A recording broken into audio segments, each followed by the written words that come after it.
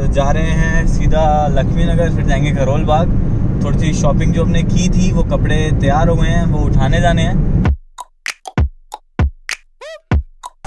तो hey guys welcome back to channel this is Shashwat and let's get started तो भाई, आज जा रहे हैं हम लोग मतलब मैं शॉपिंग पे अपने भाई के साथ, क्योंकि आप लोगों को पता है कि मेरी शादी होने वाली है वेरी सून डेट अभी तक मैंने डिस्क्लोज नहीं करी है बट शॉपिंग करना ज़रूरी है। दे रखे हैं कपड़े, सिलने के लिए जाने हैं। तो दिन कुछ स्टार्ट करते हैं इस तरह से। अभी आया हूँ मैं जिम और जिम कर रहा हूँ मैं करण के साथ। तो ज़रा जिम पे फोकस करते हैं थोड़ी एक्सरसाइज करते हैं और उसके बाद यहाँ से निकलते हैं। करण मेरे साथ नहीं जाएगा शॉपिंग के लिए मैं खुद जाऊँगा।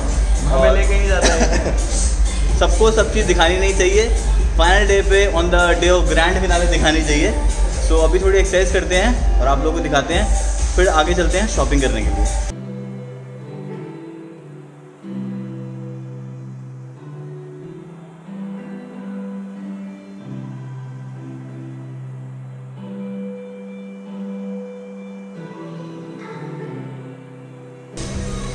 सुबह डन विद द जिम अब चलते हैं घर, नहाते धोते हैं, कुछ खाते पीते हैं और फिर आगे चलते हैं अपने मेन काम की तरफ़।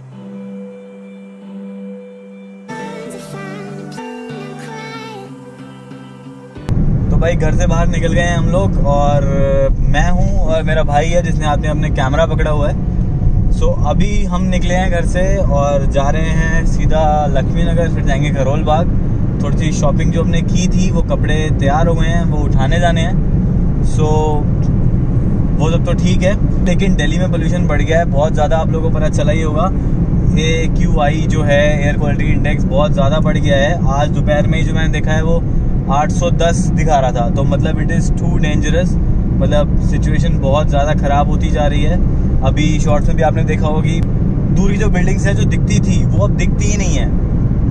वो दिखना बंद हो गई हैं। ऐसा लग रहा है कि कहीं गुम हो गई हैं बिल्डिंग्स हैं ही नहीं। सो so, इतनी बुरी हालत हो गई है। इनफैक्ट मैं भी जब घर से बाहर निकलता हूँ। हेलमेट पहना होता है तो, तो ओके है। और मुँह पे कपड़ा तब भी ढकता हूँ। और अगर मैं हेलमेट नहीं पहन रहा हूँ तब भी मैं कैप पहनता हूँ स्पेक्स पहनता हूँ एक येलो वाले अपने।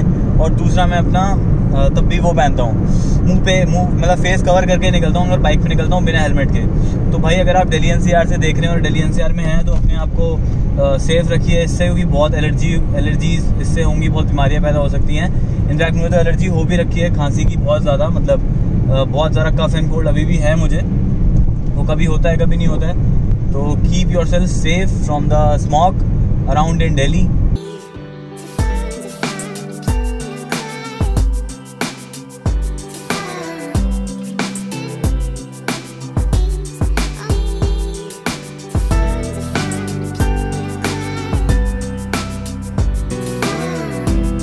अरे यार वसल तू मेरे को बता नहीं सकता है कि कब रेड लाइट हो रही है कब ग्रीन लाइट हो रही है? मैं फ़ोन में लगा हुआ हूँ।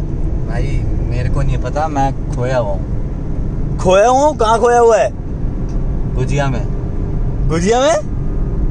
खोया गुजिया। क्या बोल रहा है?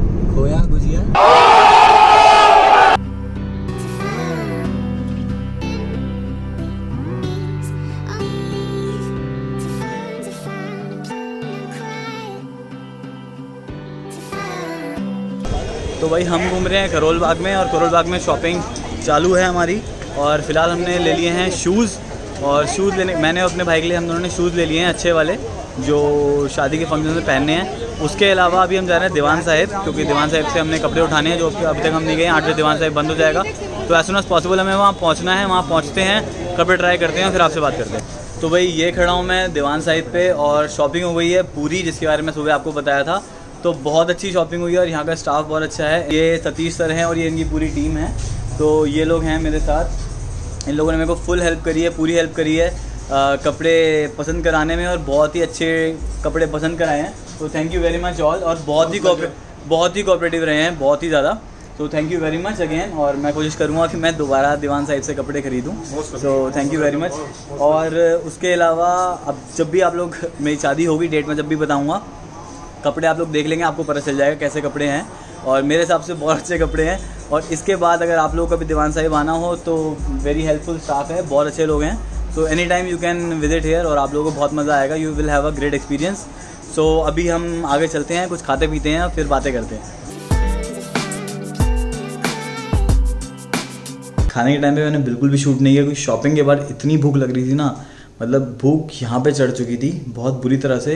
तो उस टाइम कैमरा उठाने का बिल्कुल भी दिल नहीं किया। वहाँ पे भीड़ भी बहुत ज़्यादा थी तो सिर्फ़ सारा कैमरा साइड रखा, सामान साइड रखा, खाया पिया, वहाँ से भागे, निकले और घर आ गए। तो भाई इतनी सारी शॉपिंग फिर इतना सारा खाना और उसके बाद इतनी सारी ड्राइविंग करने के बाद मैं पहुँच चुका हूँ अपने घर।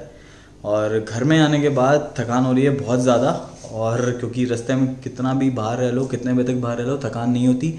लेकिन एक बार बंदा घर घुस जाता है ना तो उस पर थकान उसके चेहरे पर दिखती है और वो एक्चुअल में लेज़ी फील करने लग जाता है। तो टाइम हो रहा है रात के साढ़े ग्यारह शॉपिंग हो चुकी है पूरी, बस कुछ और कपड़े हैं जो आना बाकी हैं। थोड़ा धीरे बात कर रहा हूँ क्योंकि घर में सब सो रहे हैं। और कुछ और कपड़े हैं जो आने थोड़ा बाकी हैं, वो कपड़े भी धीरे धीरे करके आ जाएँगे नेक्स्ट वीक तक आए कैस सारे कपड़े आ जाएँगे। सब कुछ होने के बाद सारी तैयारियाँ पूरी हो जाएँगी।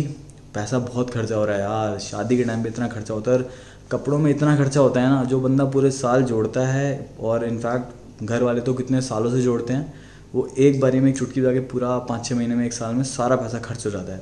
इतना मतलब shaadi is a very costly affair ना ना करते हुए भी, कितना भी कॉस्ट कटिंग कर लो, कुछ भी कर लो, खर्चा हो ही जाता है। लेने देने में, अपने कपड़ों में, शादी के लॉन में बुकिंग में, सब चीज़ों में। तो भाई, ये था आज का एक छोटा सा व्लॉग मेरा। और मेरी शॉपिंग का। सो so, अब मैं आप लोगों से मिलता हूँ अपने नेक्स्ट ब्लॉग में और इस ब्लॉग को यहीं एंड करते हैं। तो भैया अगर आप लोगों को ये ब्लॉग अच्छा लगा है और आप यहाँ तक देख रहे हैं तो डू सब्सक्राइब और आप नए हैं तो बिल्कुल सब्सक्राइब करिए और कुछ नए ब्लॉग्स आएँगे और बढ़िया लगेगा और मज़ा आएगा आप लोगों को। मैं ऐसे ही ब्लॉग्स बनाता रहता हूँ तो do subscribe and do hit the like button थोड़ा अच्छा लगता है यार। सो so, अब मैं आप लोगों से मिलता हूँ अपने नेक्स्ट ब्लॉग में। So till then eat well sleep well and right safe and enjoy whatever you want to do and wherever you are and I will see I will see the and I will see the next and I will see you in the next vlog. Bye bye. Take care.